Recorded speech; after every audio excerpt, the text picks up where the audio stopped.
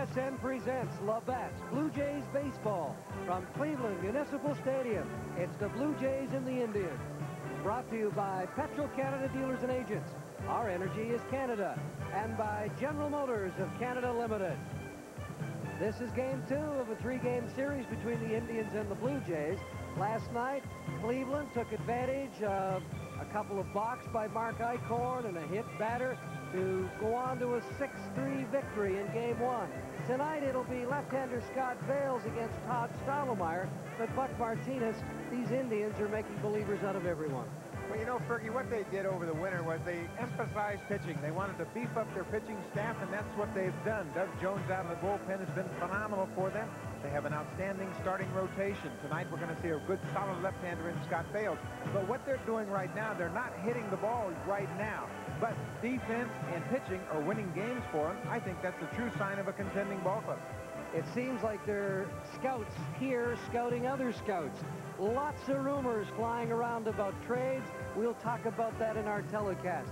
But tonight, game two, Indians Blue Jays from Cleveland and Scott Bailes, who is 5 and 4 and has certainly done a fine job for Cleveland against Todd Stottlemyre, who's back into the starting lineup because Nunez has been placed on the DL. So stay with us. It should be a good one here tonight.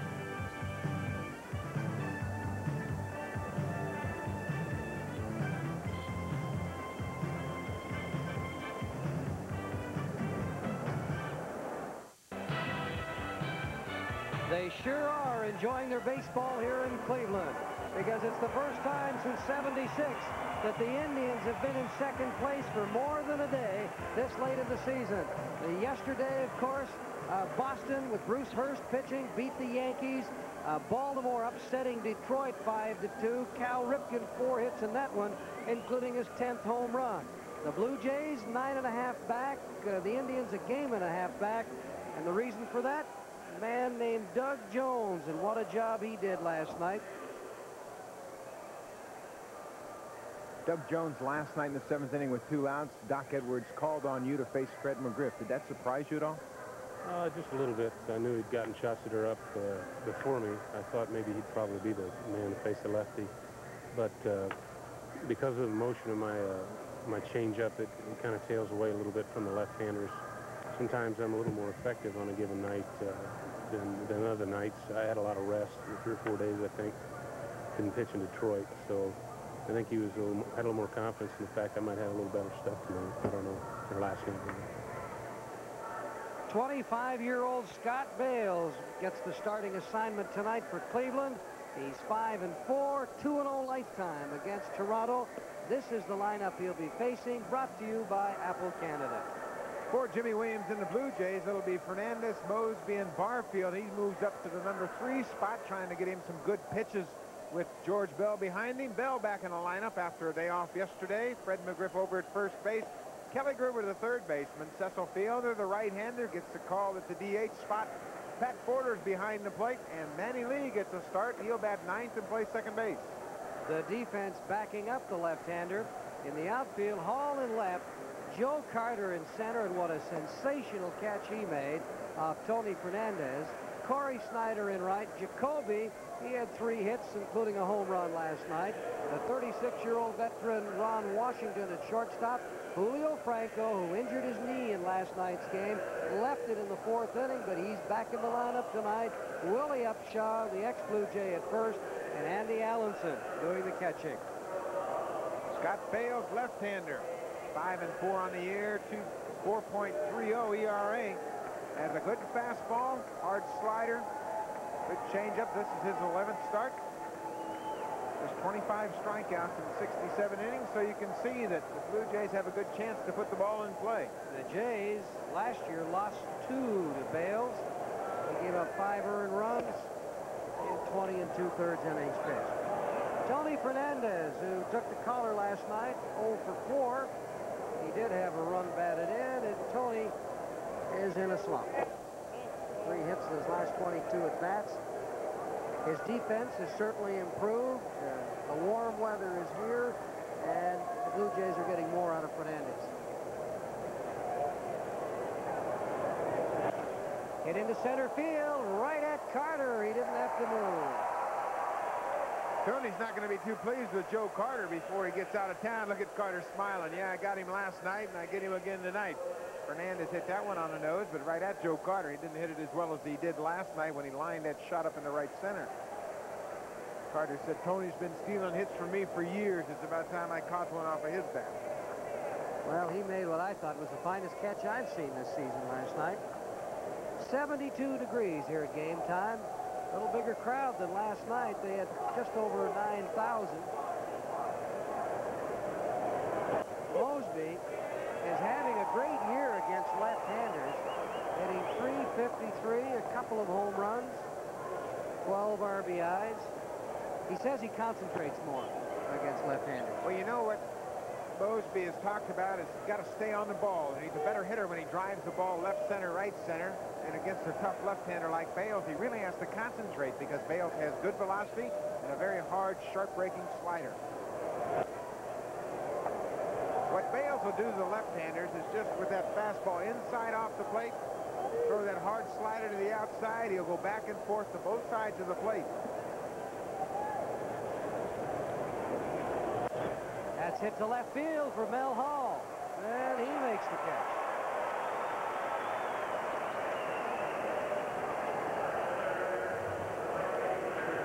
Well, as we said, not a bad crowd tonight. Probably somewhere in the neighborhood of 13 to 15,000. But it's tough to tell. School is just about out. I'm sure that as soon as the kids get out of school, you'll see a lot of big crowds here. Indians are playing good baseball. These fans will come out and support them. He actually had 84,000 in here for a doubleheader back in 54. Barfield batting out of the number three slot tonight. His name once again being bandied around, trade rumors. Yes, he just hasn't been in that groove. Trouble with the wrist injury. Now that's behind him, but he hasn't got his timing yet. Pops it up in the infield. The shortstop, Washington. So it's three up, three down for the left-hander, Scott Bailes. We head to the bottom of the first. You're watching Labatt's Blue Jays baseball on TSN. Stottlemyre, last time out, out of the bullpen in Boston, you had a great game, and that's got to do a lot for your confidence going into tonight's game. Yeah, it really does. It was the first time, actually, since Seattle to where I was really getting a good balance point. Knew I was throwing the ball, had a good idea out there, and, and had some good leg drive and cut the ball loose.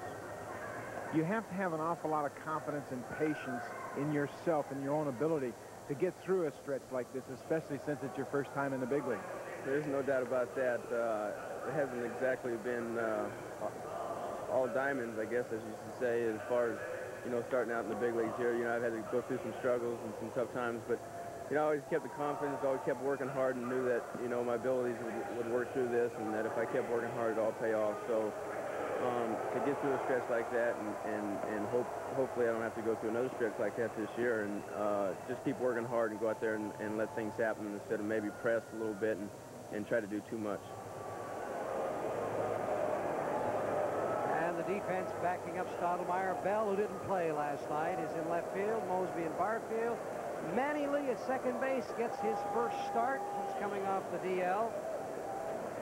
Borders the rookie doing the catching. A fastball for a strike. The leadoff hitter, Julio Franco. John Stottlemyre won his second game last time out in relief in Boston, 2 and 7. This is his 13th game. Talk about confidence. This young man sure has it. You know, anytime you go through a tough spell, he keeps plugging away, working on his pitches, trying to perfect his control. But you got to give him a lot of credit because he's kept his head up during this whole spell. He's ahead 0-2, and Franco fouls that pitch out of play. Well, I didn't think we'd see Franco in the lineup tonight.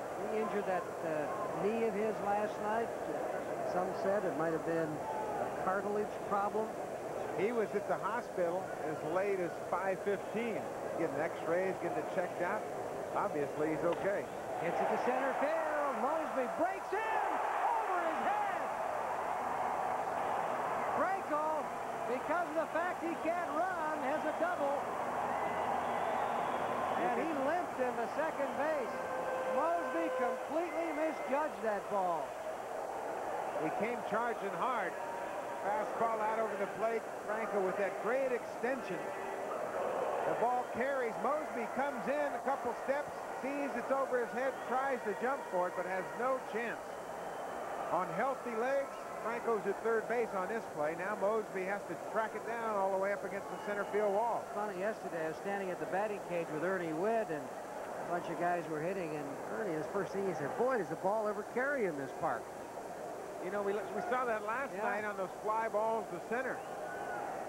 A couple of hit out there. Moseby had to go all the way back on the warning track as the ball kept drifting and drifting. We saw Barfield do the same thing last night. Come in a couple steps on a ball off Brooke Jacoby's bat that sailed over his head. Well, that's not a pretty way to open up a game for the Blue Jays, that's for sure. This cues hurt him in last night's game. They scored four runs in the sixth inning on the strength of one double. Two walks, a hit batter. Willie did not have a hit last night. Two high fastballs, so Stottlemyre behind, no, uh, two balls and no strikes. Now Willie Upshaw can sit on that fastball. He's trying to pull the ball anyway, trying to advance Franco from second to third, but he can really look for that fastball now. It's the right field, Barfield back to the track, back, he's got it. Tagging up, Franco heads into third, practically walks down. Boy, he's hurting. I don't know how much longer we'll see him in this game. He's obviously not 100%. John Goryl over checking with him. Ball keeps carrying on Barfield. Upshaw hits a drive all the way to the wall, and he goes right to the wall. Makes the grab. Upshaw did his job. He got Franco from second to third. Now he's just 90 feet away. But Barfield never took his eyes off that fly ball. With Joe Carter at the plate and Franco on third base with a gimp leg, maybe if the Blue Jays get a sharp hit ground ball, they'll try to go to the plate. Low and away, a fastball to Carter. They'll play at a regular depth on the infield, but I would think, especially Kelly Gruber, if he gets a hot shot down there at third, maybe Fred McGriff over at first, they might go to the plate. Franco not running 100%. Stottlemyre got ahead of Franco and then fell behind to Upshaw and is behind here to Carter. He breaks his bat. McGriff will have a play on that for the second out, and that'll bring up the third baseman, Brooke Jacoby. Brooke Jacoby, over the years, you've had trouble hitting in April and May, but this year you got off to a pretty good start and then tapered off, but you certainly like the warm weather. Last night, three hits and a home run. You must feel that that stroke's coming around.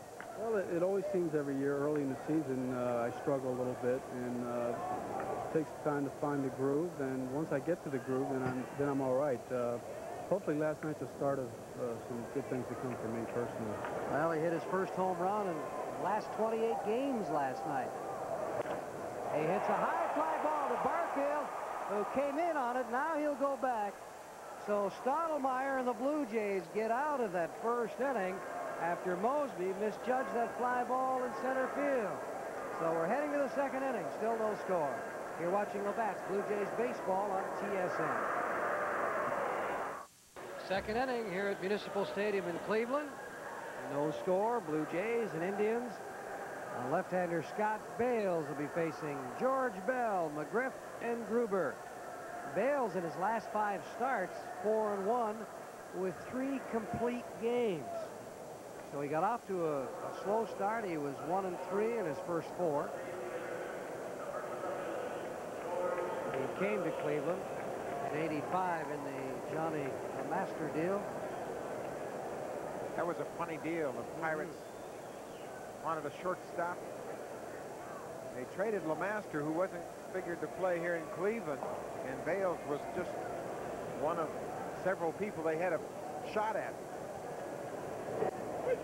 Pretty wise decision by the Indians. Well, an interesting move last night. Bell was given a rest. He has been struggling at the plate. His average dipped to 299 on Sunday in Boston as he fouls that one back out of play. He just seems to be off balance when he goes up to swing, like he's overstriding or something. Obviously, I'm not a hitting instructor, but I know he's not comfortable just looking at his stance and the way he is reaching for so many balls.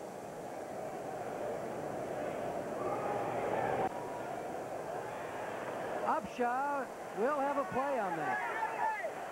He's got it. Bell is out of there. And that'll bring up the big first baseman, Fred McGriff. Fred McGriff, in my mind, you have the best eye at the plate on this ball club. How did you get that confidence so early in your career? Really, uh, a lot of pitchers, they want to pitch me away and make get me to swing at bad pitches and everything. So I just got to keep telling myself uh, to lay off these bad pitches and if they want to walk me, let the next guy do the job or whatever, and don't get too uh, aggressive and start up, just go up there just swinging away because, uh, you know, I love to hit, but still again, pitchers want to pitch around me and want me to hit it, hit swing at their pitch, so got to have a lot of patience, and I think just the more you play, the more comfortable you get at the plate, and the more experience you get, and the more pitches you see, and then you know what pitches to lay off of and which ones to swing at. Well, I'll tell you, he sure does have some kind of patience up there. Well, you can see what they're doing, too, throwing him all breaking pitches. They have tremendous respect for him as a young hitter already. 339, fifth in the league. He looked down for the appeal, the third base umpire, Rick Reed, and he said no. But so it's three balls and a strike. He's done a great job very quickly learning the strike zone. He's tied with Moseby, the club lead in walks with 32. You know, it doesn't take long for the word to get around, and the Indians are aware that McGriff can handle just about any fastball, so Bailes has thrown him an awful lot of breaking pitches in this first at bat. There's another one. He got away with a hanger, threw that one up in McGriff's eyes, but Bailes gets the strikeout. So Bailes has set down five in a row brings up the third baseman, Kelly Gruber. Kelly, last night, homered in the second off John Farrell.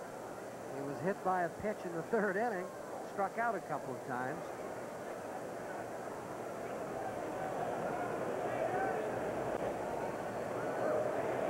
Watching Gruber from this center field camera, notice how he gets in his batting stance and then he just pushes his weight back on his back leg, really cocking, getting a good cocking action, pushing all his weight back there so he can uncoil and go forward. Cito Gaston has been working with all these young hitters, and he's really got them pushing back right there. That's popped up in the infield. Upshaw, the first baseman, will call for it.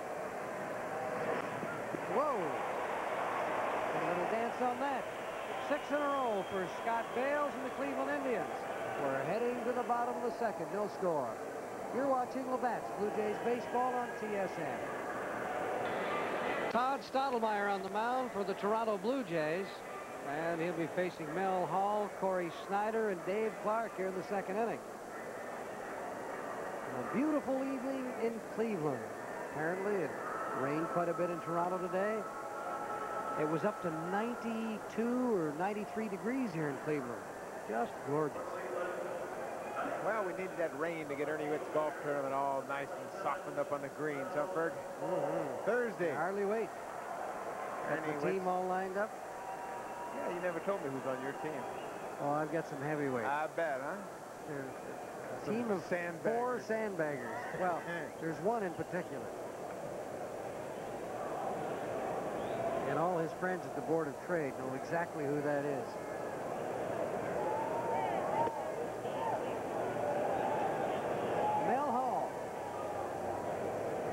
18 home runs last year, has not hit one this year. He was named co-captain of the Indians, and that's really done a lot for him this year, don't you think?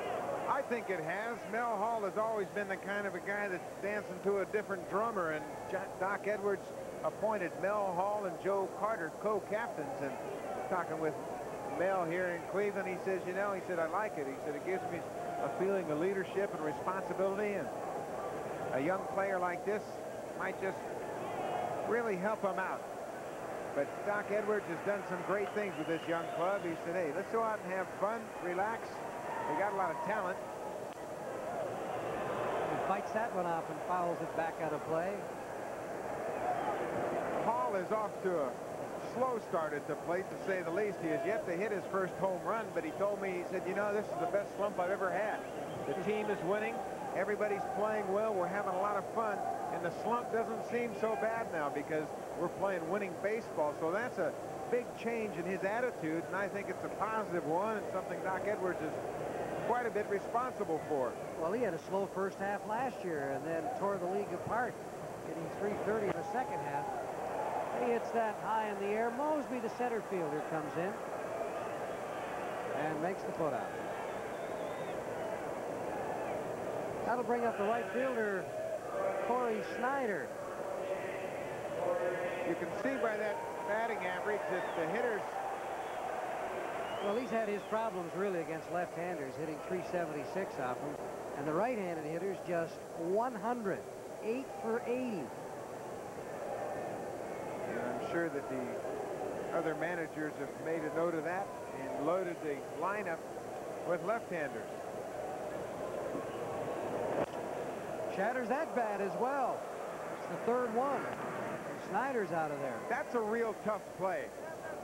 The ball was hit off at the end of the bat, and you see the bat coming through with that big swing, and it comes off the end of the bat. It's like a changeup. You see how he really had to concentrate and take that hop.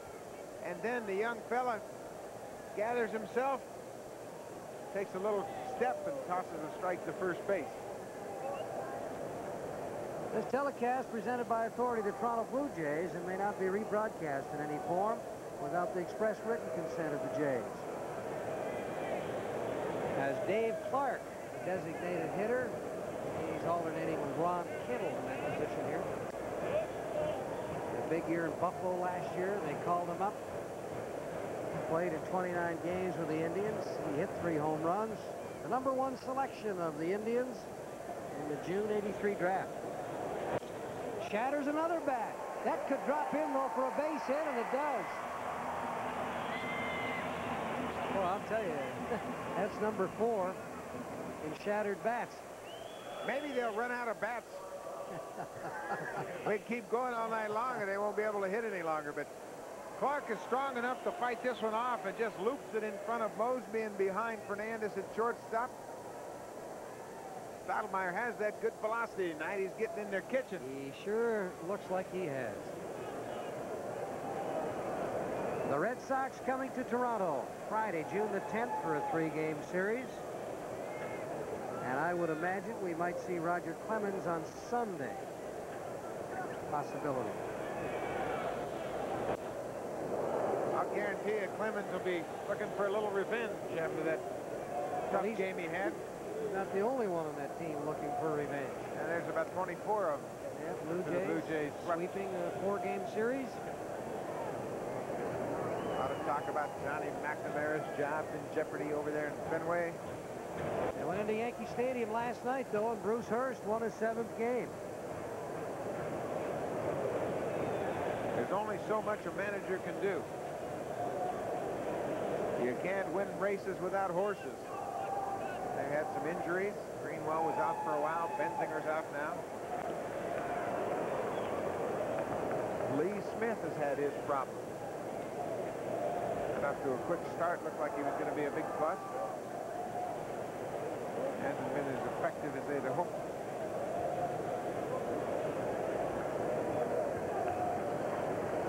The 1-1 pitch, and there goes Clark. And that's fouled back right over our heads here in the broadcast booth. Clark on the hit and run with Washington at the plate. Washington handles the bat so well. Doc Edwards was trying to take advantage of the veteran savvy at the plate. He fought it off. It was a pretty good pitch. But he fouled it back. Clark is rescued down there at second base. Clark is 0 for 2 in stolen base attempts, so Edwards is trying to advance him with the hit and run.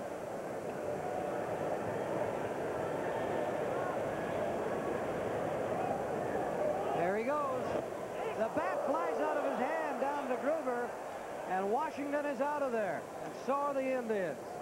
Through two innings here at Municipal Stadium, no score.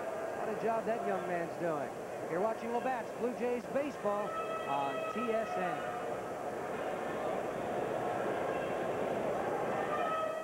We see today where the Phillies fired Woody Woodward and replaced him with Ray Shore. Paul Owens apparently has been given another assignment.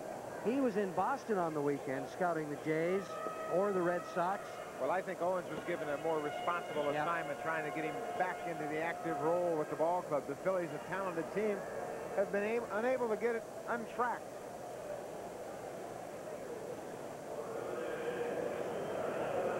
The, uh, the Phillies have made some deals over the winter, and they just haven't got it started. Phil Bradley, for one, they thought would really chip in and help with his offense, his speed, and his overall play, but he really hasn't gotten started.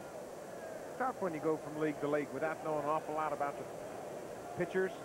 They're looking for a shortstop, and then thought that they came to watch Manny Lee possibly as fielder.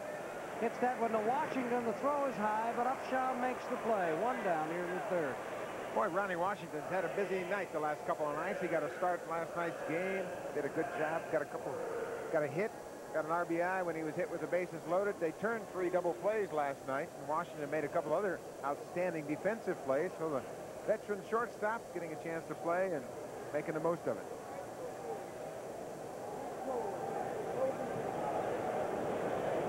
The batter is the catcher, Pat Borders. Bob Gebhard is here from the Minnesota Twins. He's been following the Jays for the last five days, and all sorts of speculation going on there, and he's driving the Toronto writers crazy. Borders hits that to Washington, who backhand steps, throws wide at first, and Upshaw makes the tag on Borders. Good play on both ends of that defensive play. Upshaw makes the tag on a high throw. Good backhanded grab by Washington. Knows he has to hurry because he's so deep in the hole. He doesn't have great velocity. Gets rid of it quickly. Upshaw with the tag on Borders. Nice play on both ends. So Bailes now is retired eight in a row. That'll bring up Manny Lee. Manny making his first start He's coming off the DL June the 1st. And there's been so much speculation about this young man. A lot of teams interested. It's pretty tough to trade a guy when he's injured. He hits that one down to Washington. Another backhand. A throw is high, but he's safe. Richie Garcia said Upshaw came down and missed first base. Washington will be charged with an error. He's had a busy inning. Another good backhanded play just throws high, and he knew he threw it high. Upshaw, watch his foot come down. It was just off the bag. Garcia felt he came wide of the bag. Looks like Upshaw's foot might have brushed it, but uh, Garcia called it the way he saw it. His toe kicked up the dirt off the bag, so he thought he missed it. Well, Garcia was right in perfect position to make that call. The leadoff hitter, Tony Fernandez, as Lee gets back. So an error has been charged to the shortstop, Ron Washington, the 36-year-old veteran.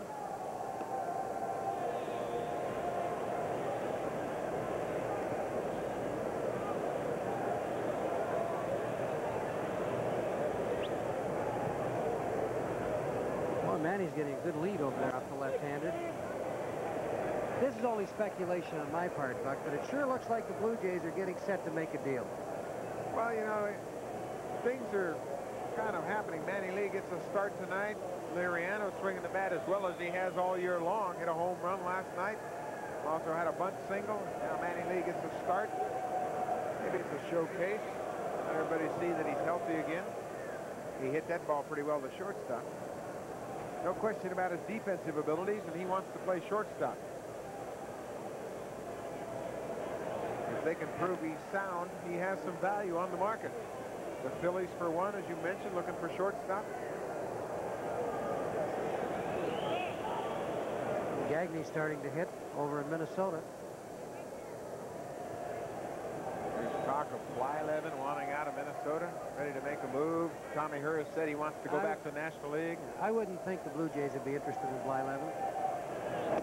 They might be interested in Tommy Herr veteran second baseman, expressed the desire to go back to the National League. He'll be a free agent at the end of the year. So if you do make a deal for him, you've got to understand the fact that you have to sign him for next year. If you want him. Yeah, if you want him. But you're not going to make a deal for a second baseman for a half a season.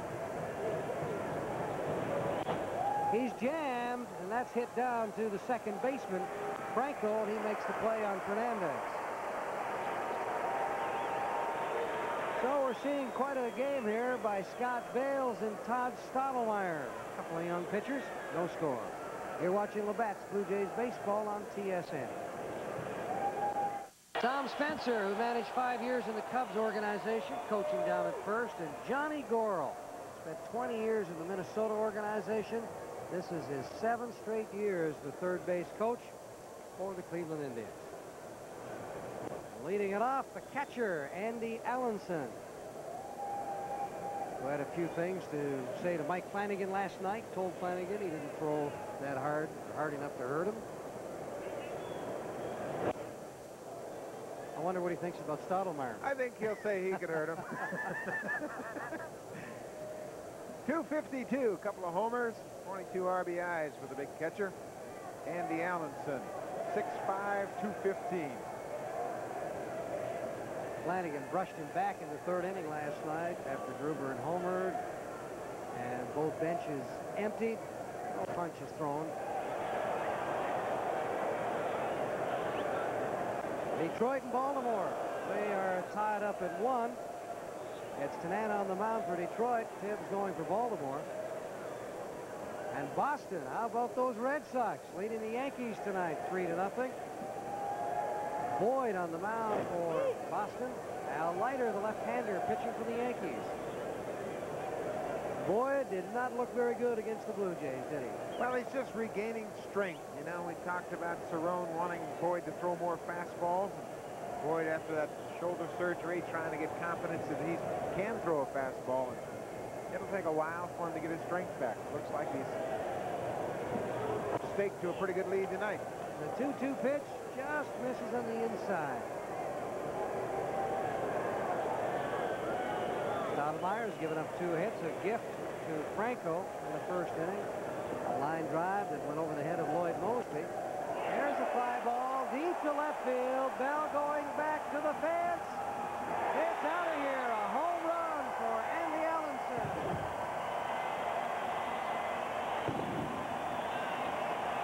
That's what happens. You run the count full. He sits back and waits for that fastball. Well, Stottlemyre got out ahead of Andy Allanson, but then couldn't put him away. And 3-2 leading off the third inning.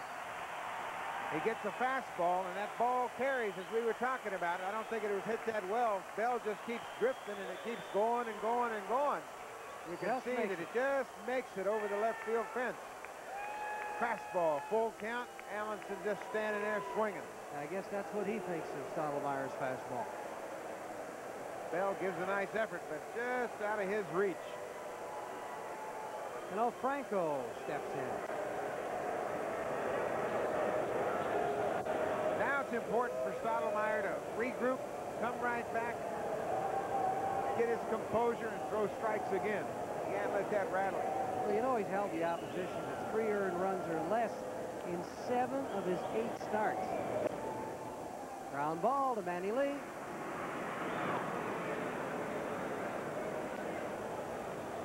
And that'll bring up Willie Upshaw. For his 7 and 2 record, you're right. He hasn't thrown that badly. Early in Two and seven. 2 and Yeah. 7. That's right. But he hasn't thrown that badly. Three runs in seven of his starts. He just didn't get that offensive support that might have gotten him off to a 7 and 2 start. But he was throwing well and still is. They said that Allanson's home run carried 391 feet.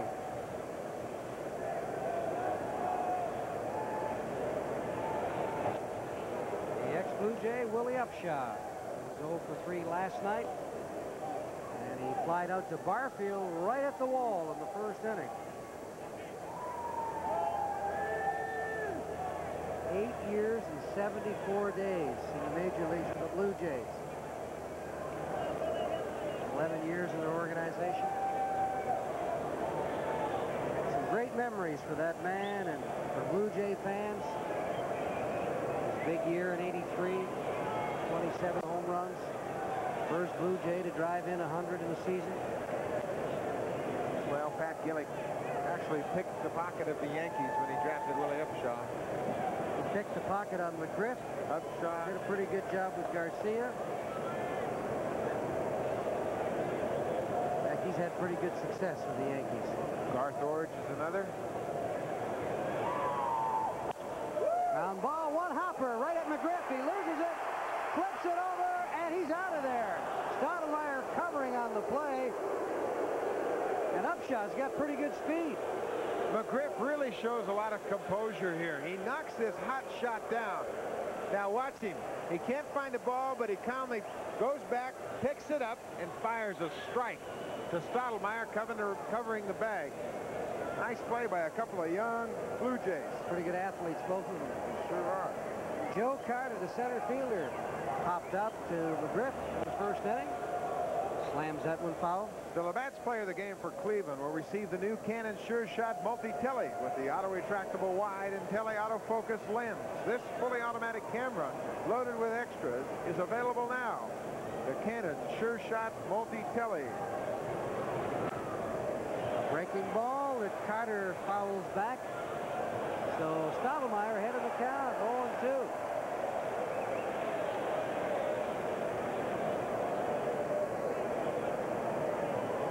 Stottlemyre now is going to have to finish off Carter in the next couple of pitches. That's pretty good. Go right after him. Second strikeout for Stottlemyre. So the Cleveland Indians on a home run by Andy Allanson take a 1-0 lead. You're watching Labatt's Blue Jays baseball on TSN. Now let's go to this TSN update. As usual, Johnny McLaren and Billy Smith down in third and first, the coaching for manager Jimy Williams. As Lloyd Moseby, who flied out in the first inning, will lead things off here in the fourth for Toronto. The Blue Jays have yet to get a base hit off the left-hander Scott Bailes. Bailes would have a perfect game going, except for an error by the shortstop Ron Washington on a ground ball hit by Manny Lee in the third inning. Fergie, are we getting older? Does this young man look like a teenager? He's 25 years old. Very promising future ahead of him. Big breaking slider.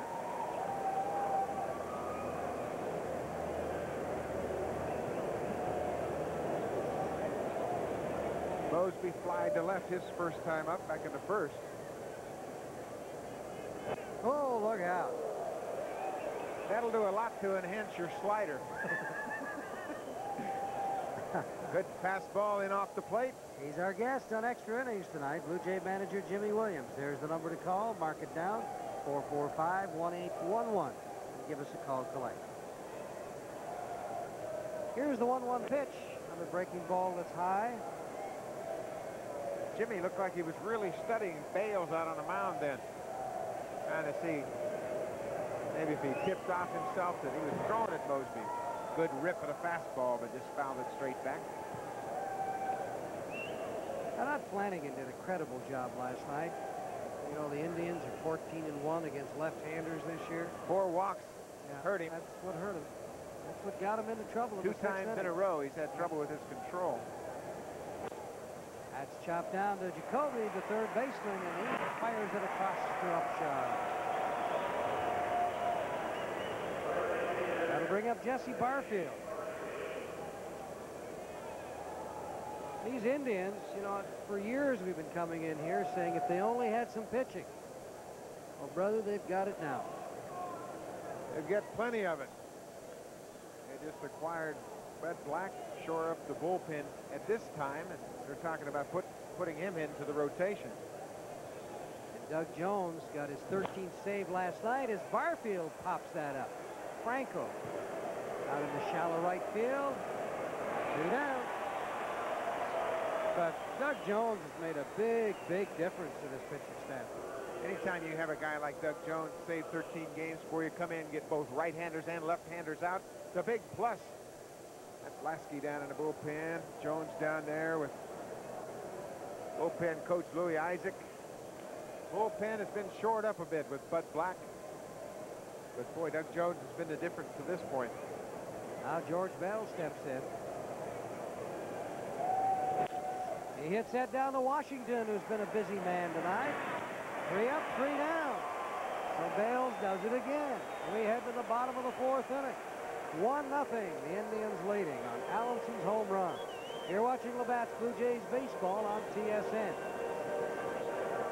On up from Hagersville, Ontario. It says Ivan send money. But right there in the middle it says, Hi, Steph. Well, Steph is our Stephanie Williams, who took sick in Boston. She's our associate director. And Steph, we know you're at home resting tonight, watching this telecast. A lot of people care about you, and Everybody get better. hi, Steph. Awfully darn quick. Yep. A ground ball hit by Jacoby out in the center field for a base hit. Jacoby's glad the Blue Jays are in town. He's four for four so far. Solid single.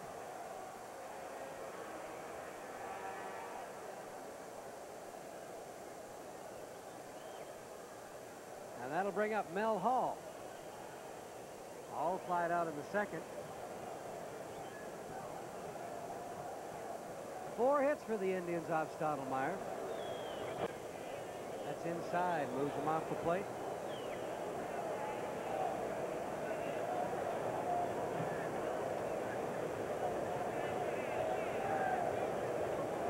Mel Hall hit just 200 against the Blue Jays last year. Did not get a hit last night. Base hit, right field. Barfield comes in, will make the play, and Jacoby will stay at second.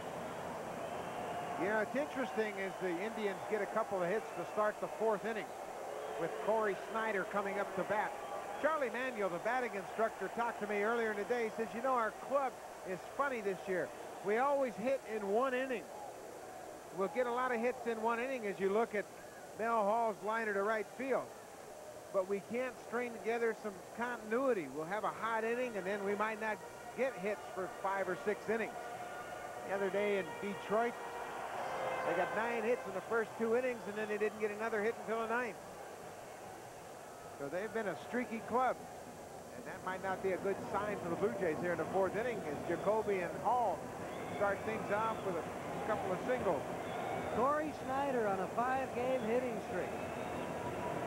He hit a sharp one hopper back to Stottlemyre, and Stottlemyre blows this one by him. The book on Snyder is fastballs up. You got to throw that fastball up to him. And probably the number one indicator of that is Snyder's problems with Roger Clemens. He's faced him nine times prior to this year. He struck out nine times. That high fastball gives him a lot of trouble. Fly ball, right field. It's right at Barfield. Jacoby will tag. And the throw by Barfield misses Manny Lee, but Fernandez grabs it. So the Indians with one down have runners at the corners. And that'll bring up the DH, Dave Clark. Jimy Williams, Galen Cisco, watching the thing, things develop here. Stottlemyre now looking for that double play ball. Runners at the corners, first and third, one out. Dave Clark. He singled in the second. Broken bat single over shortstop. Stottlemyre jammed him. Now he just needs to jam him on the ground, try to get that ground ball that'll lead to a double play. Big, strong kid. 25, 6'2", He's 200 been pounds. subject of a lot of trade talk. Everybody that comes to the Indians wants to talk about Dave Clark. Had that big year at Buffalo last year where he hit 340. 30 home runs. Youngster has a lot of promise, only 25 years old. And they want to talk about Dave Clark as a possible candidate for trade. The Indians don't want to talk about it, but the other teams do. Outside. I'm sure when the people talk trade the Indians, they point out the fact that you got Hall, Snyder, Carter. You don't need Clark. Ron Kittle was saying before the game, I just wish they let me play every day. He says, I'd, I'd hit them 35 or 40 dingers. Here's the 1-1 pitch. Took a little off that, and here comes the runner. Stottlemyre can't make the play. Jacoby scores. Stottlemyre was going to scoop that ball to Pat Borders at the plate with his glove, and the ball didn't bounce up. Beat, beats it right off home plate. Now watch as he takes his glove back. He's going to try to scoop it, but the ball didn't bounce. Jacoby scores easily. Clark will get a base hit. He might have a shot if there's a bounce there, but there's no bounce. He might have been better advised to try with his bare hand and flip it. He had plenty of time. Now Galen Cisco is out to talk to Stottlemyre. Indians leading two to nothing. That's Six a hits. In-between play. But on that play, your only play is to home. You know you're not going to turn two. Obviously, probably don't have a shot at the guy at first. So he came in, thought about scooping it with his glove. Just go out there to remind him, we've only given up a couple of runs. Get that ground ball now with runners at first and second. We'll get out of this inning. Ron Washington's the hitter, a perfect double play candidate. Notice how he hustles to the plate. At 36, he has not stopped hustling. And big part of this game. Ronnie Washington just happy for the opportunity to be playing. He's been contributing too. He's out there playing, filling in, making the good plays in the field. Singles last night. Lined it to left field, base hit. Mel Hall comes around. He'll score. Clark into third. The play they get him. The throw by Bell nails Dave Clark. Boy, what a throw by Bell. Perfect right on throw. the money. What's even more amazing, watch how he has to reach back for this ball. He almost overruns it. Reaches back, gets his balance, and fires a strike to third base. Gruber puts the tag on. Picture perfect. Rick Reed. Watch now, he hit the ball out of Gruber's hand. His ump, his out signal hit Gruber right on the hand, but Dave Clark out going first to third. Great throw by George Bell, but the Indians come up with another run here in the fourth inning. Allanson, the catcher, who homered in the third inning. Three to nothing, Cleveland leading.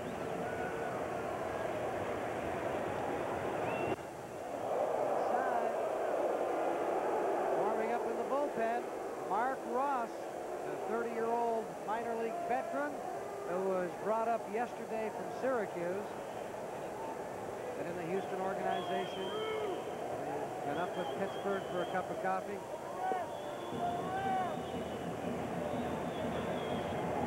Stottlemyre sent a little message after Allanson's home run. Allanson with a good cut. We got a little attitude going here between the Indians and the Blue Jays already this season. Indians playing good baseball. Allanson done a fine job for them behind the plate, leading this pitching staff. He's a leader behind the plate. He wants time now to get set in here. Facing Stottlemyre. John Hirschbeck, the home plate umpire. Washington gets back at second as Fernandez over on the pickoff attempt.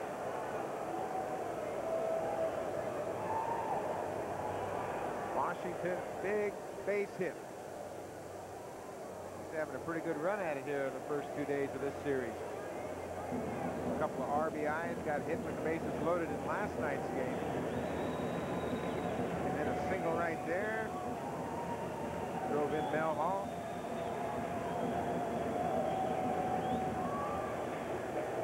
There goes Fernandez again, and Washington is back. I think that ball caught Fernandez on the thumb. And take his glove off and get some feeling back in his thumb.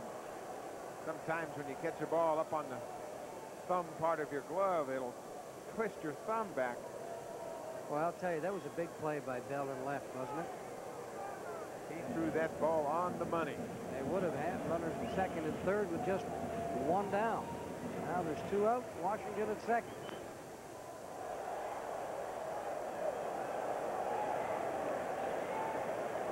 A ball and two strikes to Allanson. Well, we talked about the Indians getting all their hitting in one inning. They've had four singles in this fourth inning. Accounted for two runs to this point. If Stottlemyre can get Allanson out, maybe that'll be all the damage the Indians can muster. That home run hit by Allanson was Stottlemyre's sixth that he's given up this season in 50 innings. Borders gave a high target. Stottlemyre overthrew that a little bit. Really missed upstairs. Two and two. Williams and Cisco. Once again looking on concerned. They've got Ross throwing down in the bullpen. Called up yesterday to take over for Jose Nunez, who was placed on the DL. Took a little off that Gruber. What a play. Leaps for that line drive and stabs it. So the Cleveland Indians score two here in the fourth inning and take a 3-0 lead. You're watching Labatt's Blue Jays baseball on TSN.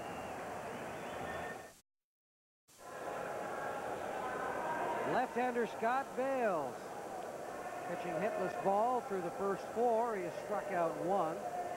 Faced 13 batters. Manny Lee got on with an error in the third inning. So he has done a superb job so far for the Cleveland Indians. McGriff, Gruber, and Fielder here in the fifth inning for Toronto, who trail three to nothing. Well, we know about the Blue Jays and left-handers, and they're seeing a tough left-hander tonight. They're 7 and 14 against left-handed starters. Bailes made four appearances against the Blue Jays last year, beat Clancy twice, 14 to 5 and 3 to nothing. Had a no decision in a start here and also pitched an inning of relief. Bailes is just effectively wild.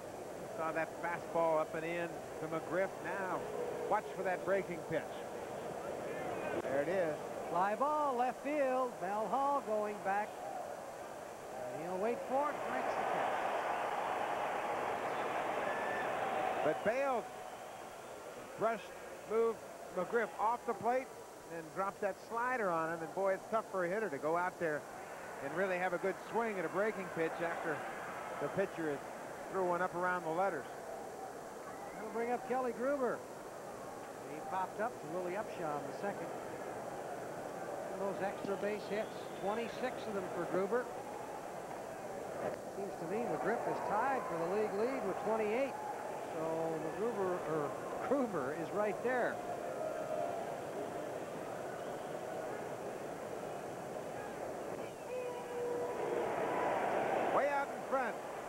Balls, two strikes. Change up and a slider.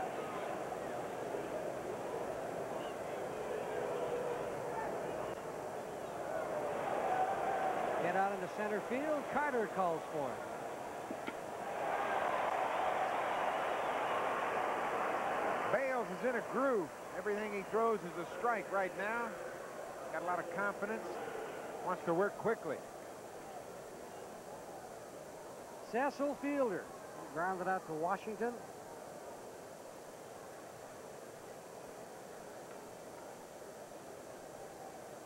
Cecil just slowly getting untracked, isn't he? Starting to swing a little better. Getting a few more at bats, and Juan Beniquez has been released. Five hits in his last 10 at bats. Homered off Higuera last week in Toronto. Bruce Hurst in Boston. His only other home run hit off a very tough left-hander, John Candelaria. That hits the plate. It's a fair ball. Now rolls foul. Jacoby read that one perfectly. Look at Cecil saying, man, that was a hit. I was running like crazy. With my speed, I got down there and would have had an infield hit if he'd have picked it up. Which very seldom happens to that big fella.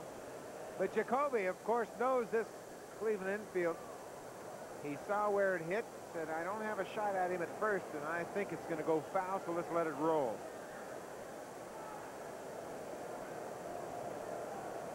Cecil's going to take some time to take a deep breath after that 90-foot sprint down the first base. Bailes with a no-hitter. Two down here in the fifth inning. A ball and two strikes to Fielder. Bailes has been ahead of just about every Blue Jay hitter tonight.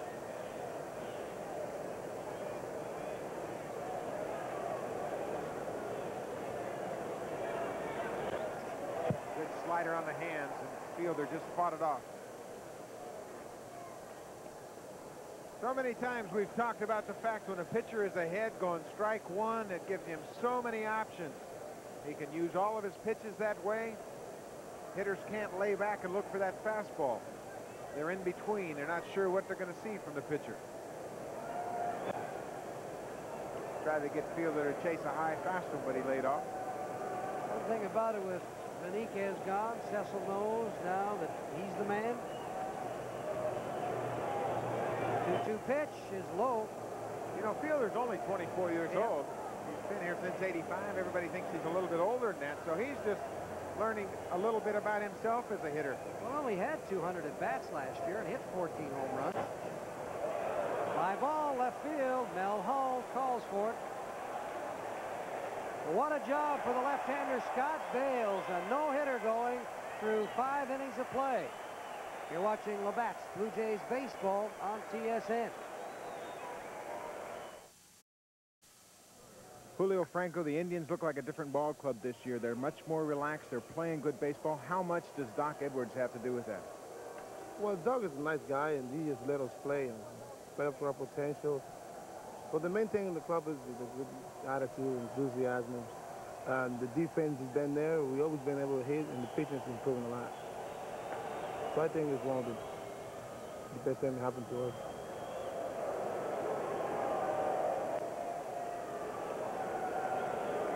Stottlemyre still on the mound. 3 nothing. Cleveland leading. Scott Bailes so far. Uh, no hitter going. Franco, fly ball, center field. Moseby will wait for it. He one hands it. Doc Edwards has certainly had this Indians ball club relaxed. He took over July 19th of last year. Pat Corrales, the previous manager, and Doc Edwards has really told his charges, listen, go out there and have fun. You've got a lot of talent. We're going to improve our pitching. We're going to improve our defense a little bit, and I'm confident we'll hit. A strike to Upshaw, who's 0 for 2 tonight.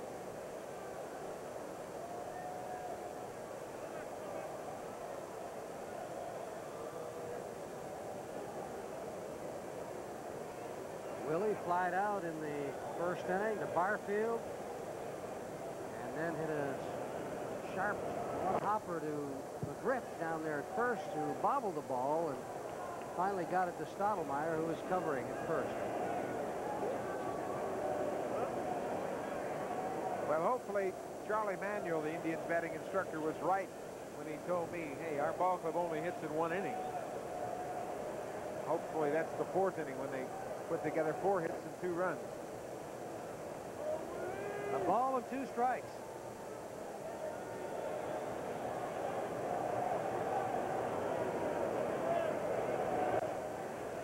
Pops it up, but it looks like it'll stay in play. It does as Gruber makes the call. A little bit of a breeze that's picked up now kept that ball fair. Play field. New York and Montreal this Friday night, 7.30 Eastern Time, and we'll be in Detroit Thursday, June the 16th at 7.30. The Tigers and the Blue Jays. What a great rivalry that is. Those are always fun. Two down as Carter hits one to Barfield in right. Three up, three down for Stottlemyre. And through five innings of play here in Cleveland. Indians still lead three to nothing. You're watching Labatt's Blue Jays baseball on TSN. Now let's go to this TSN update. This update brought to you by Speedy Muffler King. At Speedy, you're a somebody, 110% guaranteed. Welcome back to Toronto. I'm Michael Landsberg. Let's take a look now at the Philadelphia Phillies in Montreal to take on the Expos, and the Phillies are hitting Neal Heaton real hard. This is Juan Samuel over the left field fence, or at least the ball that he hit went over there. Four to one for the Phillies. In the bottom of the second, though, Tim Raines, who led off the uh, game with the home run in the second inning, has an RBI base hit to left field, so that's good news for the Expos, but here is the bad news. It is now 7 to 2 in the third inning of play. Now let's go to Baltimore, where it's the Orioles and the Detroit Tigers. Sparky's Tigers are 16 and 11 on the road, and they have a great chance to improve playing the Orioles. But Eddie Murray cashes in Cal Ripken. It's 1-0 in the first. The Tigers, though, tied in the second. Alan Trammell is on second base, and Chester Lemon is at the plate, and he bounces one just through the right side. That scores the run, and that makes it a 1-1 baseball game in the fourth. Don't forget, Sports Desk comes up at 11 Eastern Time. Sixth inning here in Cleveland as Scott Bailes right now, the left-hander, is pitching a no-hitter. Blue Jay fans will remember Len Barker back in 1981 who pitched a no-hitter against the Blue Jays. And there's been lots of no-hitters pitched by Cleveland pitchers over the years.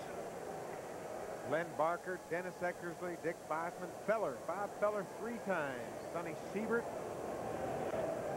Borders pops that up in the infield. Franco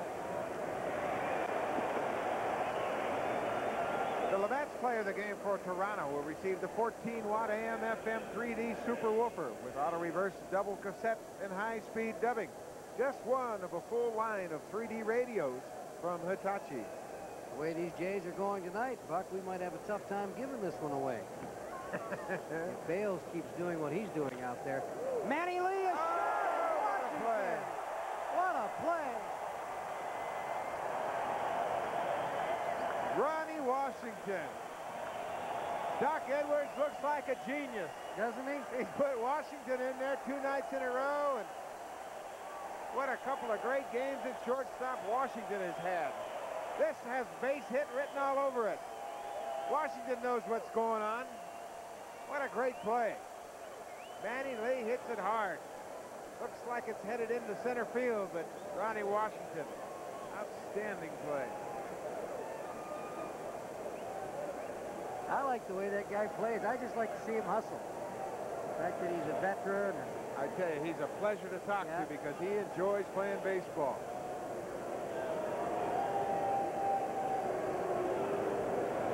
Bell is their regular shortstop, and he hasn't been hitting. Fernandez. At least he was.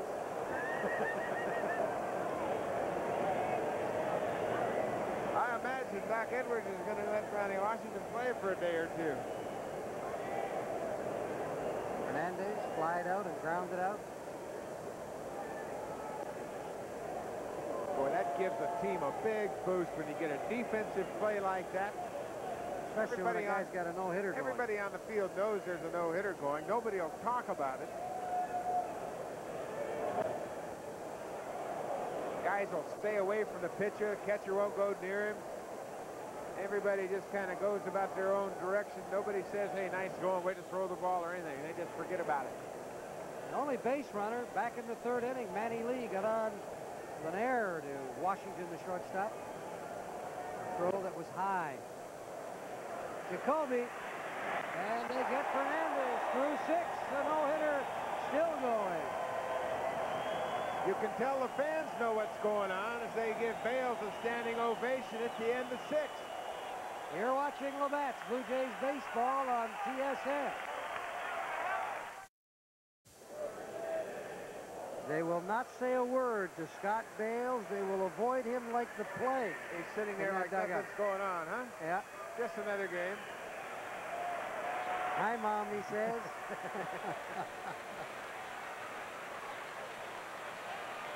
he's dying to talk to somebody else in there. Yeah, he's talking to his mom.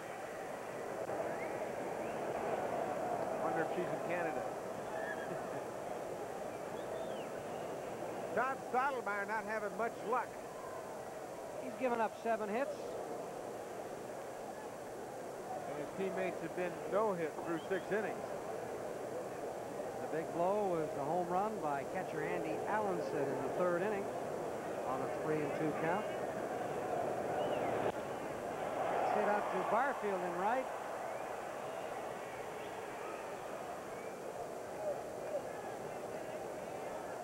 That'll bring up Mel Hall, the Orioles. Blue Jay fans will finally get to see those Orioles. in Toronto Monday, June the 20th for a four-game series. In Baltimore, behind the hitting of Cal Ripken, beat Detroit. Ripken with four hits in his 10th home run. Looks like he's starting to hit, wouldn't you know it? He'll get hot, and maybe even Eddie Murray will start to hit now that he's facing the Blue Jays soon. Murray's just been moved to the DA spot. Frank Robinson finally saying, hey, I want to see Traber play a little first base. We're not going anywhere anyway. I saw where Murray, there's, that's hit out into left field, down in the corner. Bell can't get to it, bounces in front. Hall will head for second. The throw, he is in there, called safe. He might be hurt too. He went in there awfully hard and very late. And that could be a shoulder problem. Head first slide into the bag. And right on top, Bell makes another fine throw. Remember, he threw out Clark at third base trying to go first to third. Watch Manny Lee's tag. See how quickly he gets it down. The Hall comes in there. Kind of like a crash landing, not a slide. On both knees. This is a four-point landing. Hands and knees. Boom, right down there. Wow, that was tough. Manny Lee dropped the ball, as we see on the replay, but no smiling. Captain Mel Hall is going to get some static when he gets back to that bench for that slide. that wasn't that wasn't too pretty. I tell you, you got to laugh at yourself when those things happen. Cory Snyder, the hitter. Snyder 0 for 2 tonight.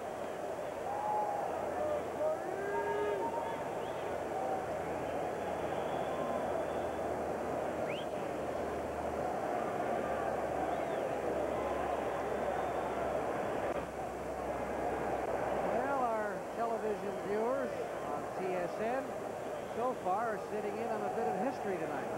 Or at least history in the making. If Bailes can hold on, he's still got nine more outs to record for a no-hitter. A lot of things can happen. Ronnie Washington, great defensive play on the drive by Manny Lee up shortstop. There, it says it all right there. No runs, no hits for the Blue Jays through six innings. Fly ball right field. Barfield heading back to the track. He's there to make the catch. Hall will tag and head for third. He won't have to slide on that play. And he's happy about that. Look at him explaining it to John Goryl. Listen, I was coming in there, and all of a sudden I just went down on my hands and knees. He's lucky he didn't come away injured. Now Dave Clark. He's got two hits in tonight's ball game. And an RBI. Stottlemyre wants to talk to Fred McGriff.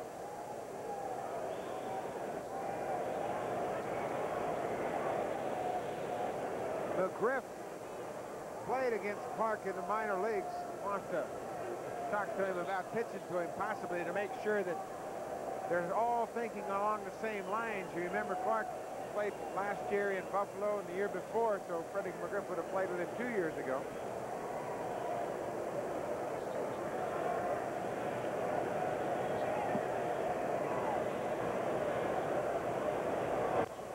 There's a fastball right by Clark.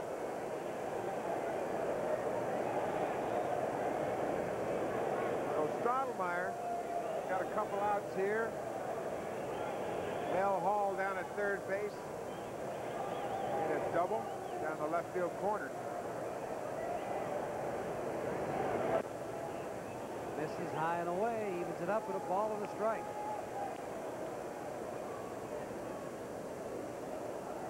I see where Todd's brother, Mel Jr., is undergone rotator cuff surgery for the second time. He was with the Houston organization and now in the Kansas City organization, so that's a tough break for him. And they say he was throwing the ball pretty well. Good for Royals, and I heard good things out of him in spring training, that he was throwing well, had a lot of promise. A ball and two strikes at Dave Clark. Two down, sixth inning. Oh, and Borders. Just saved a run. Yep. And Hall down there at third. It's a tough pitch. That 55-foot curveball bounces in front of home plate. You're not really sure where it's going to end up, but Borders with great position.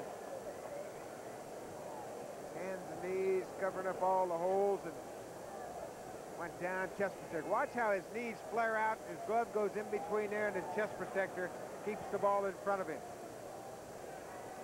Textbook block.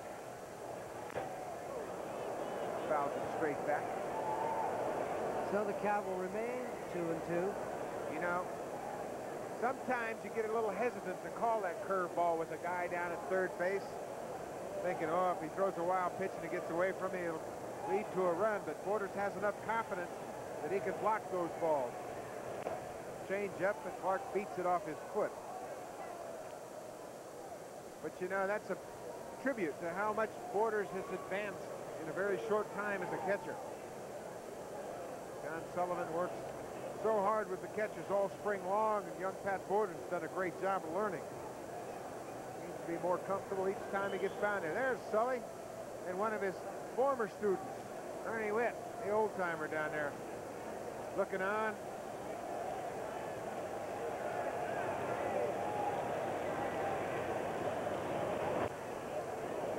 Moves him back. It's a full count now to Dave Clark. Tomorrow night, Rich Yett will go against Jim Clancy. Clancy at 3 and 6.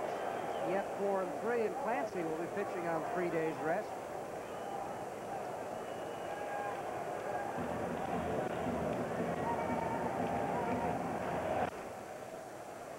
It's a good sign. A changeup on a full count.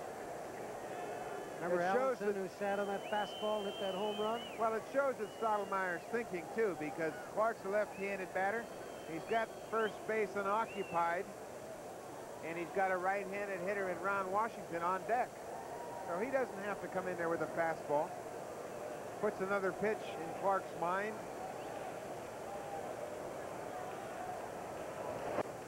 And he gets him. That changeup set up that strikeout. Clark was behind that good fastball from Stottlemyre. The third strikeout for Stottlemyre tonight.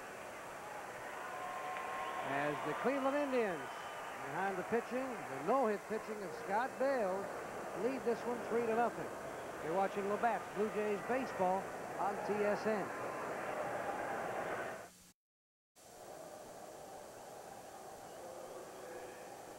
There's the line score that tells it all. Scott Bailes through six is pitching a no-hitter. Only one runner got on. That was Manny Lee in the third inning on an error charged to the shortstop Ron Washington. Moseby, Barfield, and Bell will have another shot at Bailes. Washington atoned for that error by taking a base hit away from Manny Lee on a diving catch of a line drive. Fastball for a strike. Well, as you've seen all night long, Bailes has continually gotten ahead of hitters.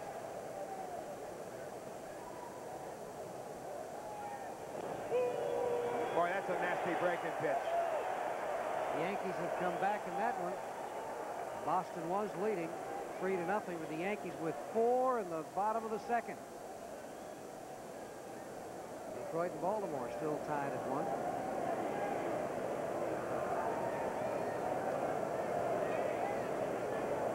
He's ahead 0-2. Gets Moseby. Breaking pitch. Aether Moseby. Three tough pitches. And the last one, boy, just gave a wave at. Boy, it broke well off the plate. Strikeout number two for Bailes. Now Barfield, who was popped up twice.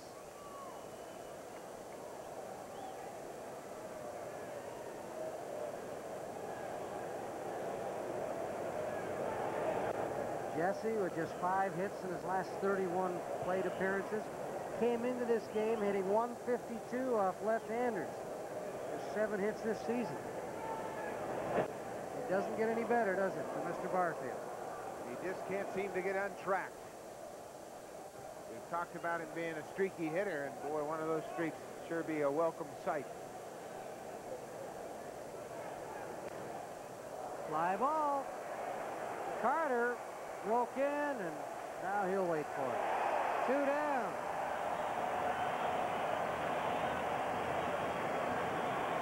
You can feel the tension building around the stadium as the players all know Carter came in hard on that ball, wanted to make sure he got to it, and then he had to go back. He realized he'd overran it a little bit. Indian fans, they know what's going on. Well, if there's anybody in this Blue Jay lineup that's going to break it up, it's this man right here, George Bell.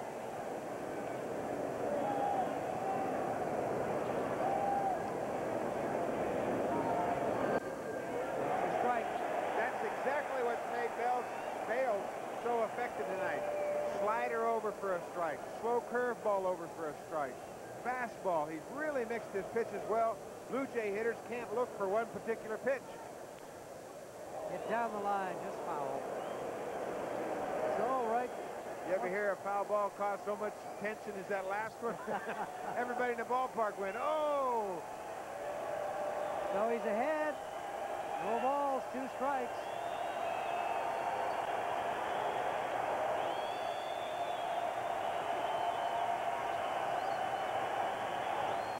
Changeup, hit out into shallow right field. Franco back, he's, he bobbles it. Bell will hustle. And he's at second. Now, how do you score that? You give Franco an error on that. At home, I think they're going to give him an error. Yep. You know, he really kind of nonchalant yep. it, and that's his style, I know. But it's a pop-up. Should be caught. Now watch, he just kind of coasts back there and just puts the glove out and says, I got it, hits him on the heel of the glove. They got to throw an air up there just because it's at home. Yeah, they did. I don't think too many people can argue with that. Air second baseman. Now Freddie McGriff will step in. Bell down there at second. You know what we might see? If somebody gets a hit afterwards, they might switch that one to a hit. I don't think it was a tough, tough play for Franco. I think he could have caught the ball, and I think he would tell you he should have caught the ball. But he ran a long ways for it.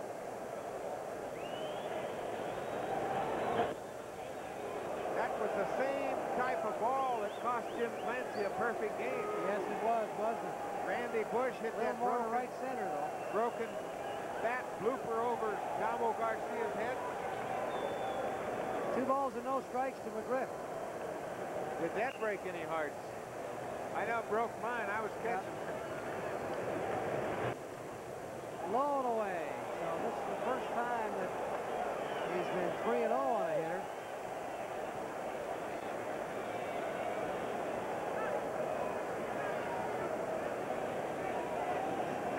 Is going to go out and scream at him. Let's go. He knows what he's doing out there. He's pitching a no-hitter. What's he trying to do? He just wants him to get back in the groove and throw strikes again, and that's exactly what he should do. He goes out there and says, listen, three balls and no strikes. You haven't been there all night long. Did that hit his helmet? It did, and he's on.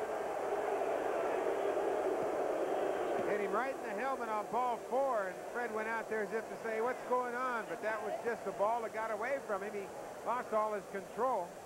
Mark Wiley will come out. Just catches him on the helmet. Fred ducks out of the way. A glancing bolt didn't catch him that flush. Now watch Bale's reaction. Can't believe that happened. Certainly not throwing at McGriff. 3-0, and Wiley wisely going out there and talked to his young left-hander saying, hey, what's going on here? You've been strike one all night long. Allanson, in his very gentle way, says, yeah. come on, you jerk, throw a strike. I don't know. He said. Bale should just tell him to take a hike and get back behind the plate. Bailes just looked over at McGriff and said, hey, man, I'm sorry. I wasn't throwing at you. You know that, but I'm sorry you got hit in the head. Nobody likes to see anybody get hit in the head, no matter what the count is. Now Kelly Gruber.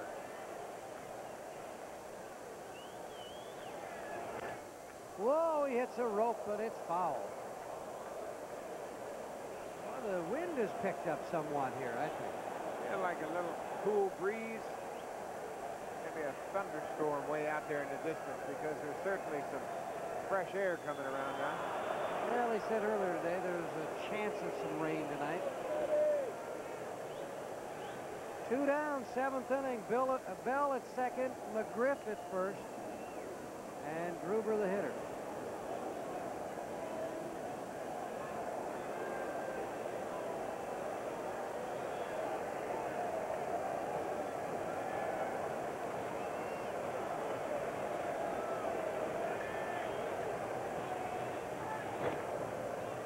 Nice play by Allanson, breaking pitch in the dirt. You know, one swing by Gruber. Hit it, no hitter could be gone. Shutout could be gone, and we could have a tie game. He's a potential tying run at home plate. He had a homer in last night's ball game off John Farrell. A bullet down the third base line that's foul. He's getting a pretty good look at the left-hander Bailes right now. Gruber's average hits at 307. Bailes, the first jam of the night. Got Bell at second, McGriff at first. Two outs here, top of the seventh. He still has not given up a hit.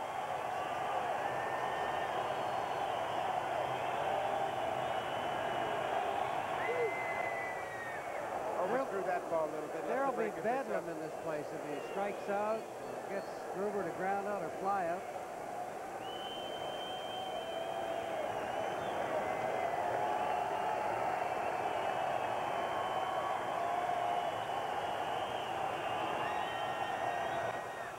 He's jammed, but fouls it.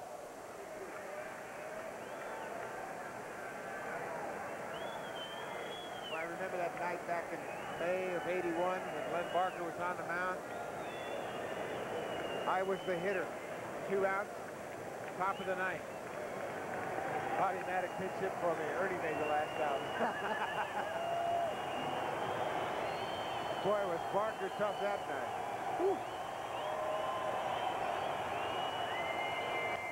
Hit in the right field. It's going to drop in. Base hit. Bell will come around to score. McGriff at third base. Slides. He's in there, and Gruber's safe at second. A three to one ball game, and Cecil Fielder will be the hitter. All of a sudden, the attention shifts from no hitter to winning the game as the potential time run is down at second base in the person of Kelly Gruber. So Scott Bailes, an outstanding performance. Kelly Gruber inside out the pitch into right field.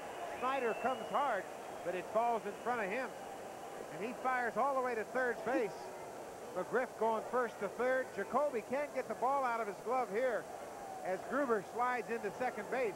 Good base running by the Blue Jays to put the potential tying run at second base.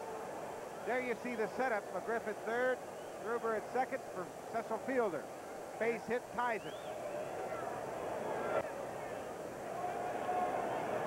Cecil tonight grounded out to the shortstop and flied out to Mel Hall in left field. Three to one.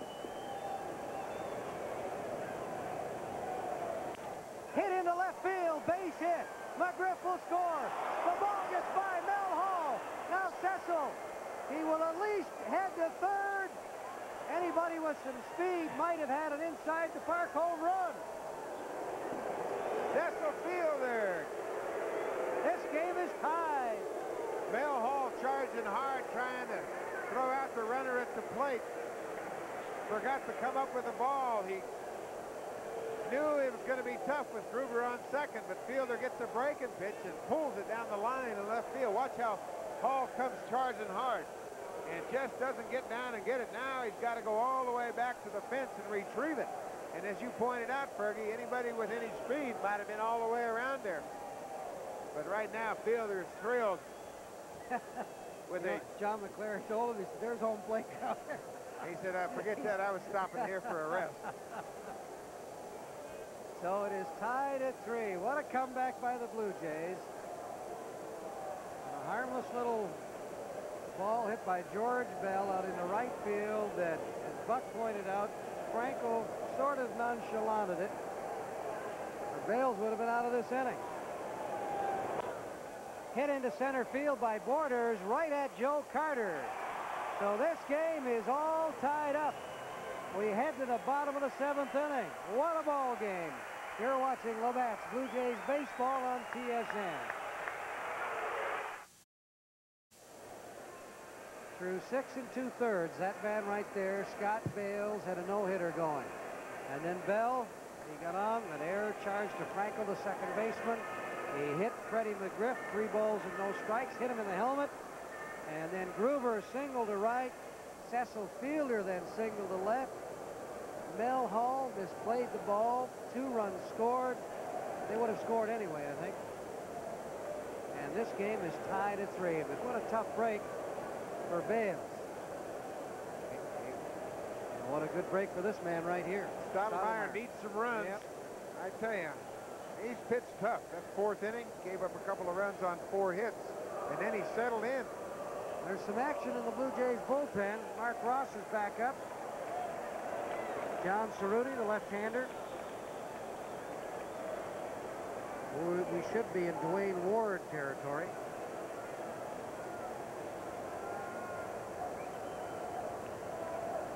Ron Washington struck out in the second, single in the fourth.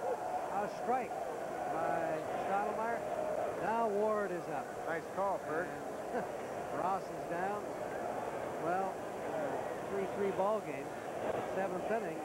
You don't use the guy that they just called up from the minor leagues. And you don't know what he throws. That's right. So they're going to get Ward up. Ward's done a good job for him. He's got four saves. Of course, the big guy's down there, too, Tom Henke. I said to David Wells before the game, can you pitch tonight? He said no. so we won't be counting on Wells. Pretty much to the point, huh? Yep. So Cerutti's down there. Rick Leach, bat in his hand. There's Hank. There's Hank. A high chopper to McGriff, and he'll make the unassisted putout on Washington. That'll bring up Andy Allanson, the catcher, who homered back in the third inning.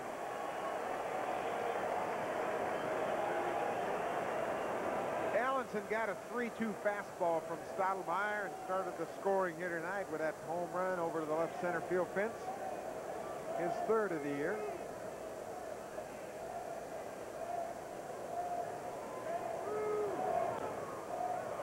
Fouls back a fastball. Allanson only hit one home run in a 293 at bats in 86 last year and just 154 he hit three so you can see that he's getting a little more comfortable and swinging that bat with a little more authority A chopper down to Fernandez. You know, memory serves me correctly. I have not got the figures here in front to, uh, to prove it, but this inning has always been the toughest inning for Stottlemyre because I remember out in Seattle, he had a perfect game going for six and a third, and then he gave up a hit. They brought him out as Galen Cisco looks on, and uh, keeping a close eye on Stottlemyre right now. a couple of other starts he got into the sixth inning. look at Franco. When Franco walked up here they booed him. I don't think it was that bad a play. He went out there He's always been nonchalant, one-handed style. That ball just caught him on the heel of the glove. But it began a three-run rally in the top of the seventh. I thought Stottlemyre overthrew that last pitch. Looked like he put a little extra on it. Tell you, you got to admire his composure. For a young guy out there, he was down three to nothing and has kept his ball club in, given him a chance to get back in the ball game, and now he's pitching in a tie game. Great changeup. That's a good pitch. If in fact what you said was accurate, that he was overthrowing, now Borders comes back, calls a changeup, and that will just make you follow through and smooth out that delivery a little bit. It was Franco hit a line drive in the first inning that Moseby, the center fielder, misjudged and went over his head for a double. Fernandez. Two down. For the third out, I'm sorry, Allanson was out of there as well. So Stottlemyre has done a nice job through seven innings. It's tied at three. You're watching Labatt's Blue Jays baseball on TSN.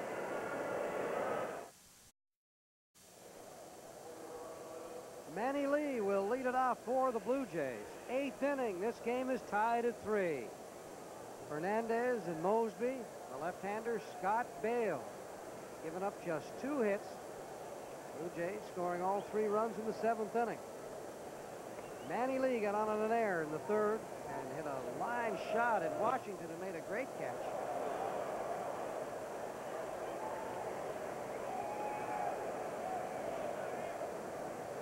Jimy Williams, our extra innings guest tonight.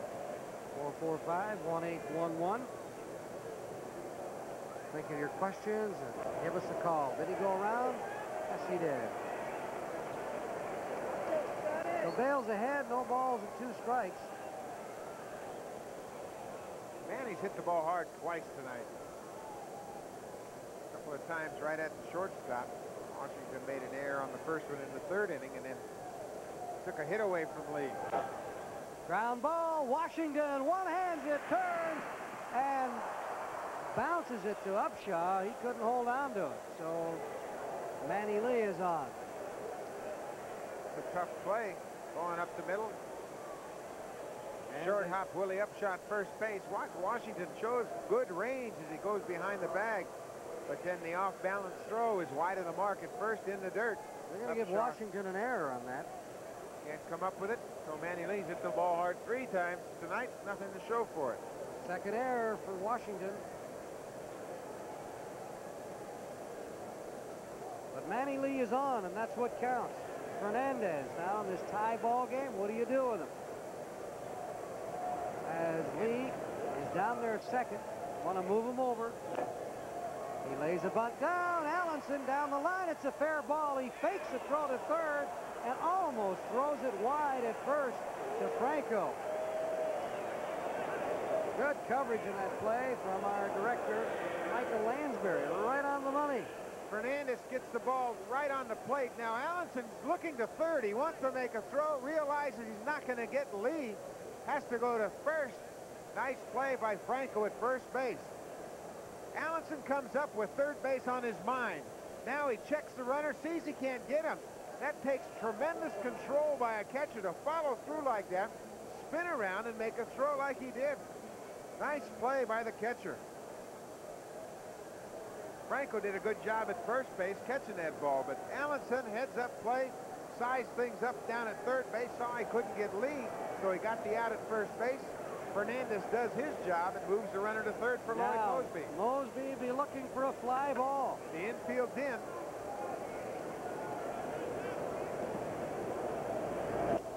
Moseby tonight, flied out of the first, grounded out in the fourth, and struck out in the seventh.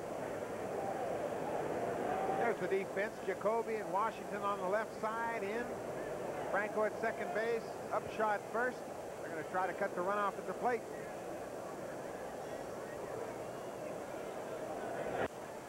There's fly ball down the line. Now Manny Lee will tag. Mel Hall coming in. Manny Lee fakes. And he gets right back to third as that throw is right there to Allanson. Mel Hall right on the foul line. Not that deep for a strike to home plate. Manny Lee had to go back to third. Jimmy Warfield, the Cleveland Indian trainer, is now going out to second base. Going to check Julio Franco. Something I think we neglected to mention on that Bell, uh, ball that Bell hit out into right field. That's you know, right. Franco playing with that injured knee. We forgot to mention the fact, and we, frankly, I overlooked it, that Franco came out of the game yesterday with a bad knee. Had he been 100%, maybe he gets all the way back there. So my apology to Julio Franco. And in a tie ball game, knee. I don't think Doc Edwards wants to leave him in the ball game. He's going to take him out of there. You've got to admire Franco's determination. He just came from the hospital on x-rays. Jimmy Warfield mentioned that they're concerned about a clicking that's going on, and from time to time his knee will catch. But Franco wanted to be in this game tonight. Came right out, took a little BP, didn't take infield. And Unfortunately, the fans probably forgot also that he had come out of the game last night with a bad knee. So Jimmy Warfield alerted Doc Edwards. They went out to check Franco, and you got to tip your hat to Julio Franco as he tried to give it a go, but he's obviously not 100%. So Domingo Ramos will go in to play second. Last night, he played admirably in the he field, sure replacing did. Franco when Julio came out in the fourth inning. He teamed up with Washington and turned a couple of double plays and made a good play on Rick Leach on the ball up the middle. He was 0 for 2 last night at the plate, but it was his defense that he got by with. So Barfield with Manny Lee down at third, two out, tied at three. He took a good rip at that one. You know the way Jesse is swinging right now. I don't know if I wouldn't try to drop a bunt down the third base line. Jacoby's way back at third.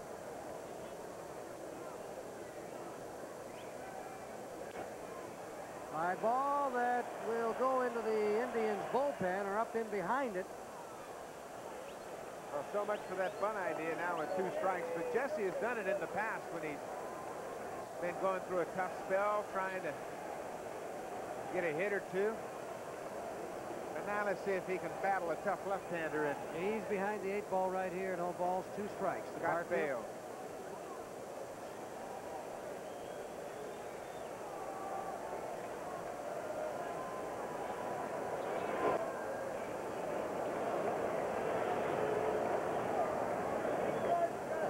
Lo and behold, who's warming up in the bullpen? David Wells. He was. Now he and puts his jacket on. Is he going to come into the game? He's game? coming into the game. He told me he wasn't going to pitch tonight. You've got but a he's great not the boss. Great relationship with David.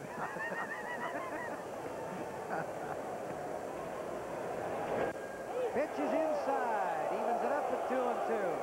Bailes wanted it, but it was low. Yeah, maybe David Wells hadn't talked to Jimy Williams and told him he couldn't pitch. Jimy Williams obviously told David Wells he could pitch. Looks like he's coming into the game.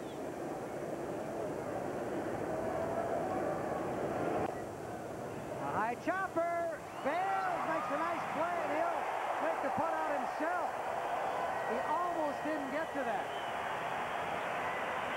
Yeah, but he did get Yeah. to it and saved a run. Whoa. What a great play by the left-hander.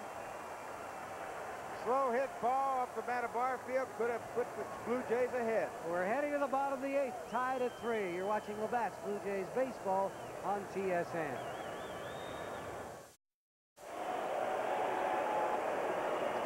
This pitching change brought to you by Skil.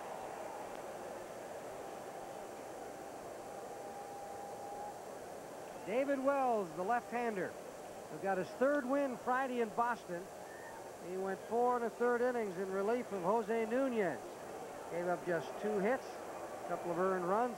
As a matter of fact, those two runs, the only two that he's given up in his last 14 appearances, dating back to May the 6th. Look at the numbers. 37 strikeouts, 42 and two-thirds. Wells is putting it together. Getting a little work. Good velocity on his fastball, and that breaking pitch has been snapping. Jimy Williams wants to have Wells come in here and face Upshaw. Well, he went four and a third Friday. Sunday worked two and two thirds. Gave up three hits, a walk, and a couple of strikeouts. It's a lot of innings. He's a young guy. He can handle it.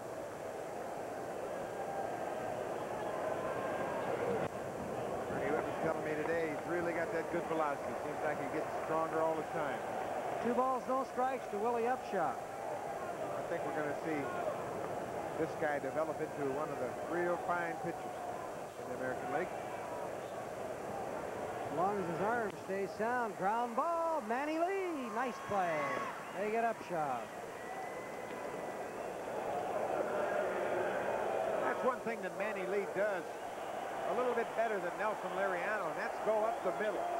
He can range behind the bag and stop and make a strong throw. Watch how quickly he stops he has that strong arm, but he's a little bit quicker with his feet defensively out there in the field. That right shoulder is the one that's been bothering him. Joe Carter, the hitter. 55-foot breaking ball.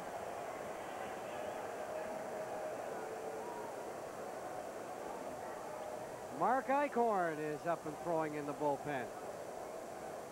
Oh, and he had some problems last night. Hit a batter, couple of box. Ground ball, Fernandez. He's up with it. Carter's out of there. Two down in the eighth inning. Third baseman Brooke Jacoby, who's one for three, a single and scored a run in the fourth. It's a big game for the Blue Jays tonight. Red Sox coming to Toronto. Autograph series day. starting Friday, and of course Saturday is autograph day. That's Always a special a day, isn't time. it? Sure is. All you youngsters, a lot of fans. oldsters too, get those autograph books out. Time is game time, 1:35. When they usually have autograph sessions, what, 12 or 12:30? 12:30. Big turnout. Breaking ball low, Jacoby. Just three hits for the Blue Jays, eight for the Cleveland Indians.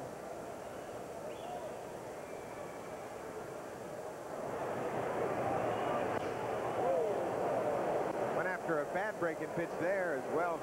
Came back to back with that curveball.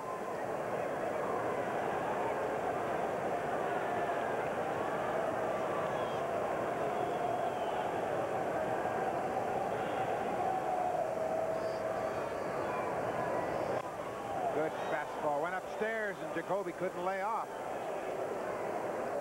So we're heading to the ninth inning. This game is tied at three. You're watching Labatt's Blue Jays baseball on TSN. Now let's go to this TSN update. This update is brought to you by Zenith. The quality goes in before the name goes on.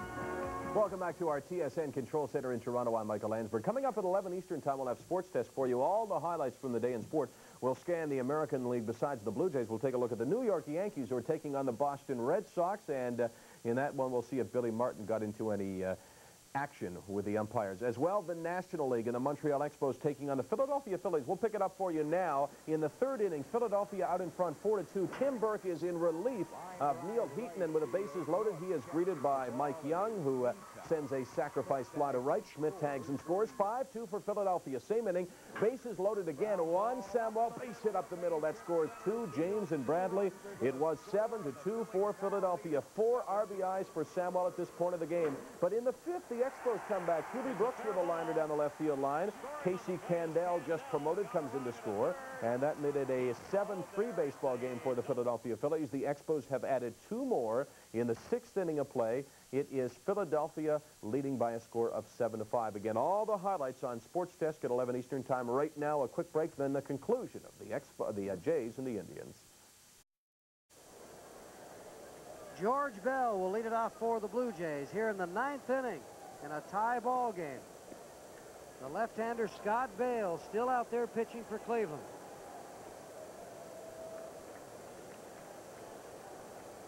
The Blue Jays, George Bell start their three-run rally off in the seventh.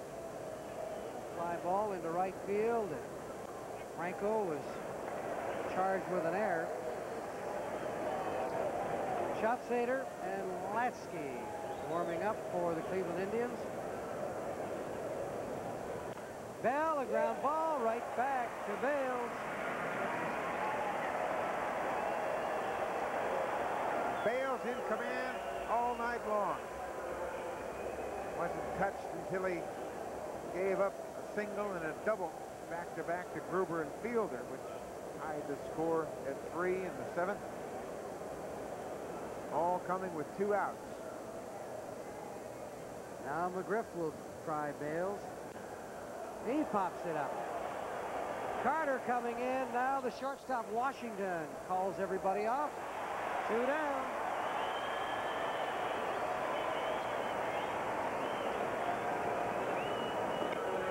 Some out-of-town scores. Detroit and Baltimore. They're tied at three. It's Tanana against Tibbs in that one. New York leading Boston 4 to 3. The Yankees with four runs in the second. White Sox are tied at one. Lee and Perez in that one. And Kansas City leading Oakland. As Power against Young. Good job Power did in his last outing for Kansas City. A win. George Brett Danny Tartabull hit home runs for Kansas City. Pasqua has a home run for Chicago.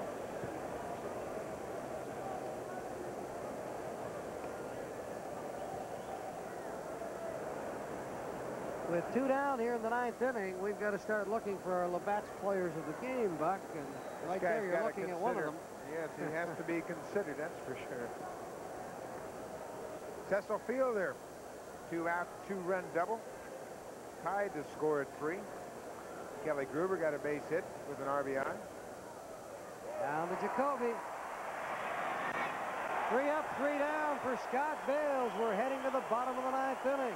Still tied at three. You're watching Labatt's Blue Jays baseball on TSN. Bottom of the ninth inning, tied at three. David Wells has come out for the ninth. He retired the side in, in order in the eighth. Stottlemyre started this game, went seven innings, gave up three runs, eight hits, struck out three, and didn't walk anybody, and that's a good sign. He looks sharp tonight. Yep. Some of those hits weren't hit that well. A couple broken bat base hits. Gave up a home run to Allanson, but overall, I think it was a pretty good outing for Todd Stottlemyre. Allanson in the third and four hits in the fourth inning. Once again, only three runs in a start, so that Yep. makes eight starts Out of nine. out of nine now. Good effort by that young man, Todd Stottlemyre. Kept his club in the ball game, gave him a chance to come back and tie it. Now Castillo will come in to pinch hit for Mel Hall. Castillo played in in last night's game. Started, played left field, and then was lifted for a pinch hitter, and that pinch hitter was Mel Hall. They platoon out there. He's 0 for 7 as a pinch hitter. The only player in this Cleveland lineup who's hitting over 300, just over 50 at bats. 0 for 2 last night as a starter. Good rip at that fastball, but fouled it straight back. Junior Wells has to concentrate here, not walking anybody. He has been absolutely magnificent. This is his 28th appearance of the season. That leads the Blue Jay staff.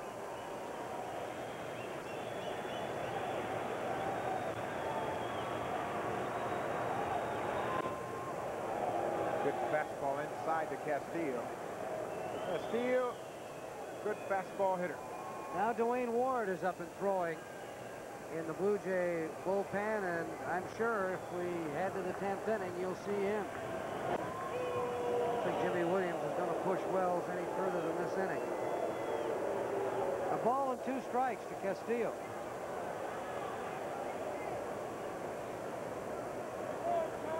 They're going to throw the fastball, they got to crowd Castillo. Inside part of the plate. That's what they He's do. jammed. Gruber is deep at third.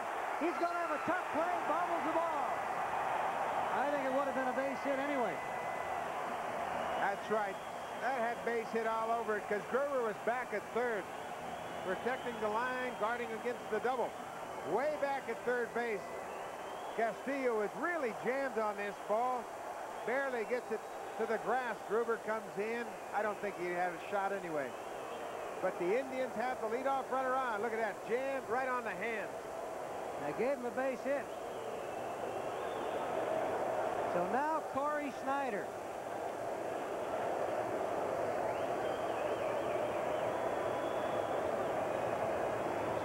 Do you go to Ward now, or do you have Wells pitch to Snyder?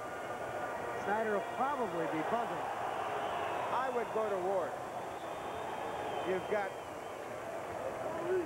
Clark, the DH, on deck. Kittle has come out, but he's not officially in the game yet. Jimy Williams playing a mind game with Doc Edwards on the other side of the field.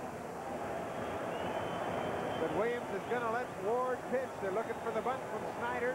Gruber in at third base.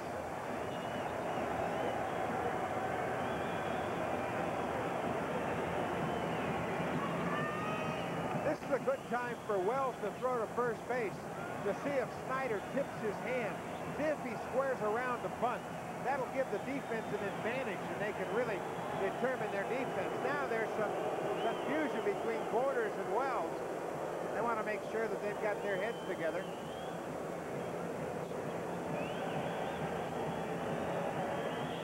Going to see what's happening, but if I was Borders, I'd say, let's give a toss to first base. Just see if Snyder might tip his hand and square around early. That'll help out the defense an awful lot if they have an idea for sure that Snyder is going to bunt. Gruber at third base can really come charging hard, try to make a play at second. Well, if you're Doc Edwards, you got to have him bunting. No. Remember, the Snyder is a pretty good hitter. Oh, Johnny Plessy is a Goryl, good hitter. third base. Flashing signs. Jimy Williams is going to go out there and discuss things. Yeah, I think he's going to go to Ward.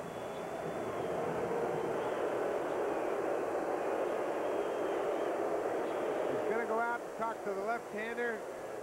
I'll tell you what, if he brings in Ward, he'll definitely force a bunt. asking him how he feels.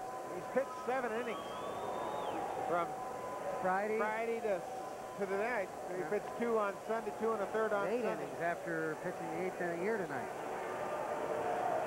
He's had a lot of work, a lot of innings. Jimy Williams wants to make sure that he's sound. And then it, he's going to discuss what Snyder's doing.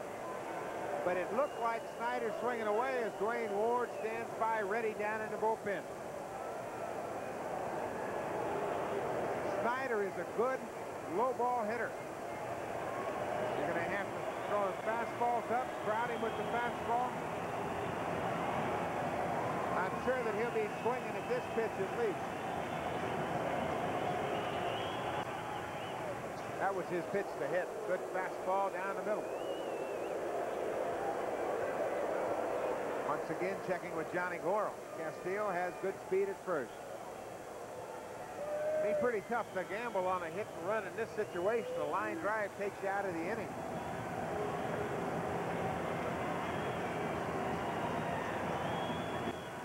Well, I'll tell you, I am surprised that Williams didn't go to Ward, and I'm surprised that Doc Edwards is not having this guy bunt at the plate. You'd think that Williams would go to Ward to face Snyder. Ward throws hard. Wells throws hard just the same. But Williams has a lot of confidence in this guy, David Wells. And I'm sure that if he feels that he's fit and rested enough, he's got confidence in him. Fly ball. Deep to left. Bell back at the fence. It's out of here. A home run. The game is over. The Cleveland Indians win it. Five to three. Whoa. Brother.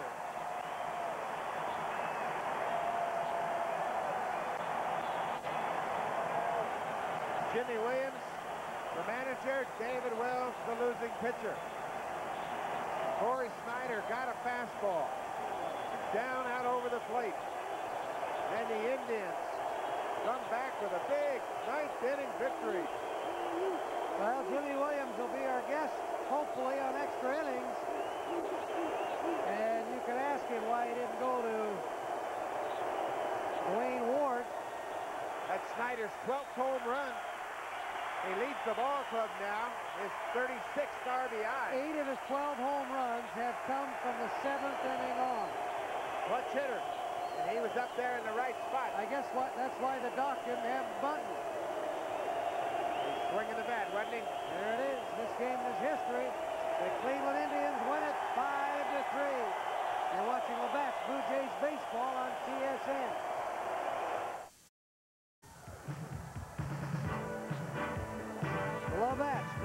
Baseball has been brought to you by Petro Canada Dealers and Agents. Our energy is Canada. And by General Motors of Canada Limited. This has been a special presentation of the Sports Network, produced in association with TV Labatt by authority of the Toronto Blue Jays, and may not be rebroadcast in any form without the express written consent of the Blue Jays. The final score, the Indians win it in the bottom of the ninth, 5 to 3. The winning pitcher, Scott Bailes at 6 and 4. The loser, reliever David Wells, at 3 and 3. The Labatt's players of the game for Toronto, Cecil Fielder. He'll receive the Hitachi 3D Super Woofer. And for Cleveland, Cory Snyder. He'll receive the new Canon Sure Shot Multi-Tele.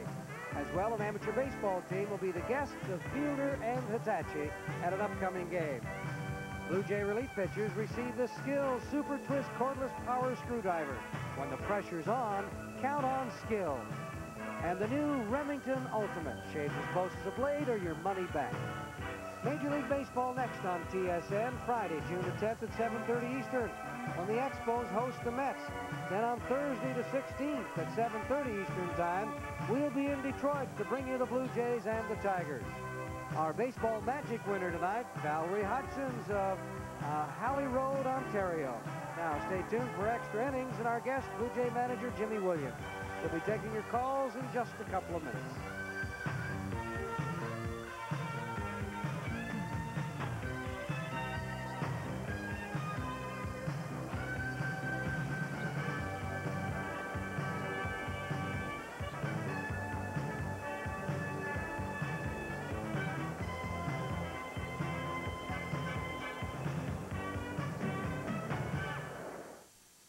Swindell.